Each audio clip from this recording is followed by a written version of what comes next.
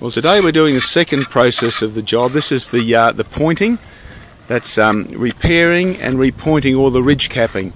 This gives a uh, we're using a, a flexible pointing material that gives an extremely long life, and uh, this will completely seal the surface of the ridge capping prior to us putting the sealer coat on, which will be the next process.